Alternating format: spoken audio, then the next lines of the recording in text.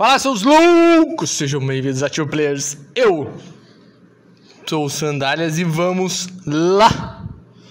Vamos lá! Com o filme, o filme, o filme, o filme, Spiral, Spiral, é Spiral, é Spiral, é Spiral. Sei lá como é que vocês preferem chamar, mas é o filme novo dos Jogos Mortais. O legado dos Jogos Mortais. Então, tudo começa, né? Mostrando Zick, o detetive do barulho. Não, mentira. Começa o Zick, que é o Chris Rock. É o Chris Rock? É o Chris Rock? Chris Rock? Não. Não, Chris Rock. É o Chris Rock. Agora me. É o Chris Rock, sim, né?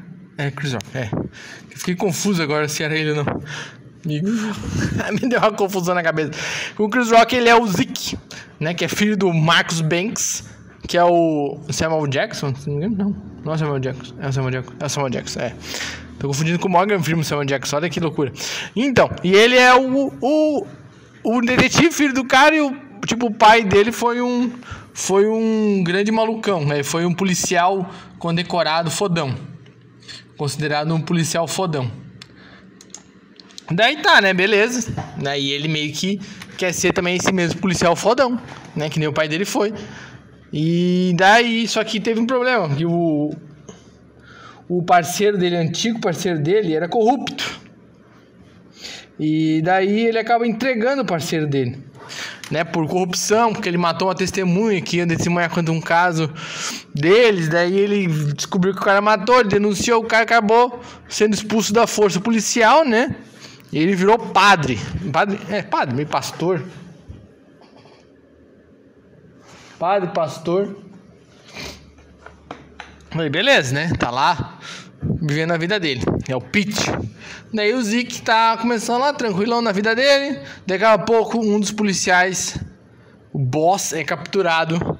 Daí ele recebe uma armadilha dos Jogos Mortais lá, né? E acaba morrendo atropelado pelo trem. Beleza, morreu, atropelado pelo trem, né? Feito uma, uma armadilha daquelas, prendia a língua e tal, daí na fita o, o, boneco lá, um cara de porco falava que ele era corrupto, que falava, mentia para as autoridades e tal, para salvar os outros e tal, ele meio que encobria os, os parceiros dele, né? Daí beleza. Daí ele morre atropelado pelo trem, beleza? Daí começa a investigar, daí começa a descobrir né, a spiral, espiral ali, que é aquele negócio dentro da parede que é que é, remete ao Jigsaw, né? Essa espiral.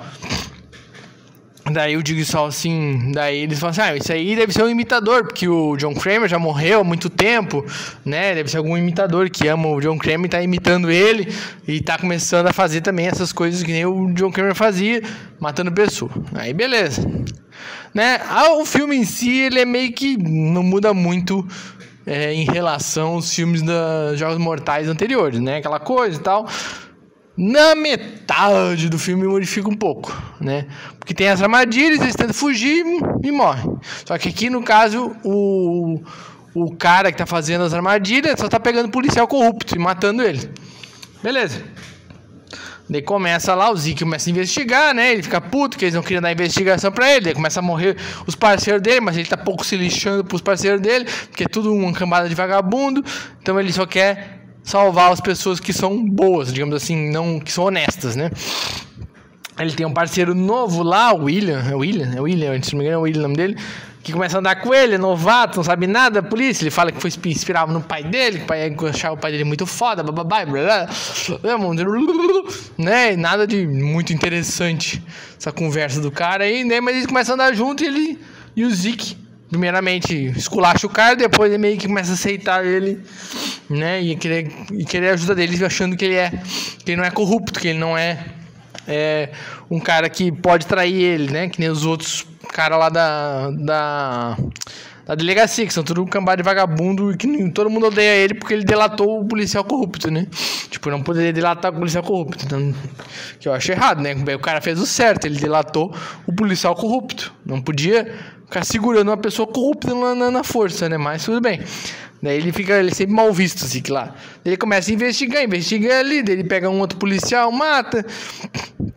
Daí ele pega o, esse William também e mata, né? Só que a partir do momento que o William, tipo, o William em si, quando ele, digamos, ele não some no filme, né? ele não, não aparece nada que eles pegaram ele, mas ele some no filme, né? Dedudes, dedudes que aparece que é ele, não mostra a cara dele, né, morrendo lá, mas tipo, o assassino ele já não tá mais fazendo armadilha para salvar as vítimas, ele faz a armadilha e mata a pessoa.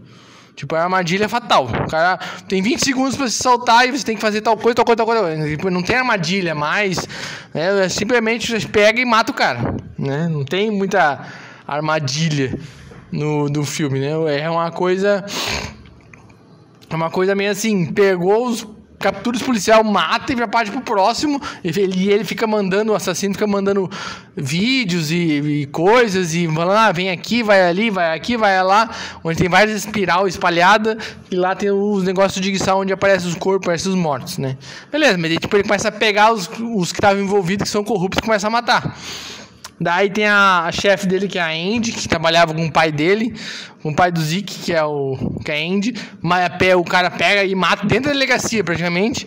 Né? E ninguém vê nada, ninguém vê o que acontece. Daí o Zeke fica procurando, e vai pra lá e vai pra cá, e acaba achando e vai morrendo. No final das contas, né, vá, papo vai, papo vem, morre um, morre um, morre um, morre um. Morre, só morre os, os corruptos da polícia, não morre nenhum é, honesto, né? O cara só mata os corruptos. Beleza.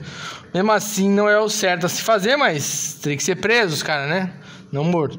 Daí tá, beleza. Daí vai indo, vai encaminhando o filme e tal. Né? O Chris Rock em si, ele acaba não convencendo que sendo uma pessoa, é, tipo, revoltada, uma pessoa sei lá, tipo uma pessoa ranzinza, sabe? Ele nesse filme ele é pra ser uma, uma pessoa ranzinza, mas tipo ele não consegue, para mim ele não consegue me enganar fazendo que ele é, que é uma pessoa ranzinza, tipo ele porque acho que talvez ele é muito. Todo mundo odeia o Chris lá, ele falando. Nem na voz dele, na verdade, é um dublador, né? Mas a gente acaba relacionando ele com, com o personagem do Chris, que acaba relacionando todas aquelas coisas. Todos os filmes mais engraçados que ele fez. Né? E tu não consegue meio a relacionar uma atuação de seriedade com a atuação dele normal, né? É meio estranho pra mim. Mas, tipo, ele não convence. Pra mim, ele não convence muito que ele tá. que ele é o policial revoltado da coisa, ranzinza. Ele faz umas tiradinhas, umas piadinhas e fala umas coisas meio que nada a ver. Né? Que a mulher é puta, não sei o que, a mulher dele é puta, ela não tá aqui, então eu posso falar. Umas coisas meio assim, nada a ver. Tipo, meio idiota, umas coisas que ele fala ali. Não sei se é da, da, da dublagem que botou isso aí no lugar, a tradução, não sei. Mas ficou meio ruimzinho, isso aí. Ele não convence. Pra mim, ele não convence como detetive ranzinza, né? O parceiro dele até que era gente boa. Ele parece. Dá pra aceitar ele bem, que é um novado. Mas aí, voltando ao assunto, né? voltando ao, ao, ao, assassino. O assassino daí vai, vem, vai, vem, vai, vem, daí captura o pai do Zeke, captura o Pete também, e captura o Zeke também. Daí eles remontam aquela cena lá dos Jogos Mortais 1, onde ele estava amarrado pelo braço, não pela perna, pelo braço e ele tem que serrar a perna, no caso, no 1, né? Mas aqui ele tem que serrar o braço para poder escapar. Só que tem um detalhe, ele consegue achar chaves, um clipe perto dele e escapa. Na verdade, meio que o assassino deixou ali para ele poder escapar, porque o assassino tinha um plano para ele. Daí tá, beleza, ele vai indo, vai indo avançando, daí acha o pai dele, acha o Pete, ele, não consegue salvar o Pete, Pete morre, daí ele acha o pai dele pendurado, quase morrendo também, daí ele descobre que é o assassino é o William, que foi o parceiro dele, novato da polícia, daí o William fala que o, o, o Pete matou o pai dele, ele descobre que aquela testemunha que o, que, que o Pete matou é o pai desse William, né? E ele conseguiu enganar toda a força policial, enganar que queria trabalhar com a polícia, enganar o Zeke, enganou todo mundo para poder é, entrar na polícia e ter essa vingança, digamos assim, matando os malucos. Então, todas as vezes que ele matou, eu estava envolvido, que eram desonestos, que estavam fazendo coisa na polícia, estavam fazendo coisa naquela época da polícia, né? O pai dele estava envolvido também, era bandido também, daí o cara né? Fez um momê todo lá pra SWAT vir invadir, né? E o Zeke tinha, tinha só uma arma com uma bala só. Então ele podia atirar e salvar o pai dele, ou atirar no cara e matar ele, ou prender ele, alguma coisa assim. Aí que pra mim tem um erro, né? O cara tem uma bala, beleza, o cara tem uma bala, né? O pai dele tava pendurado, tinha um, tipo um, um alvo lá pra ele atirar, né? No, no, no, e libertar o pai dele. Esse é um primeiro erro pra mim, né? Então ele podia muito bem, né? Sei lá, dar um tiro no. matar o assassino, para não deixar ele escapar. E depois ele dava um jeito que a polícia tava